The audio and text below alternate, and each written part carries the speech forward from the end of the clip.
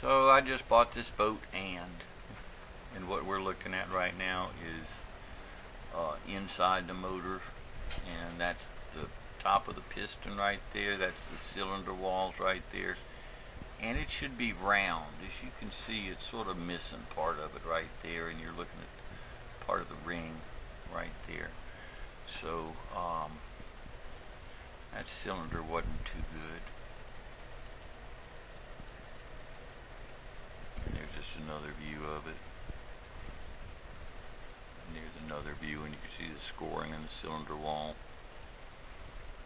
And that's the top of the piston. You see it's been having detonation and there's the ring right there.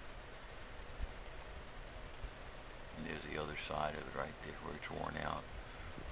And there's another pretty good shot right there. And once again you can see the uh, ring. That should be down on the piston, but it's just missing that part of it. So this is, I just bought the boat and didn't run a compression check, so, uh,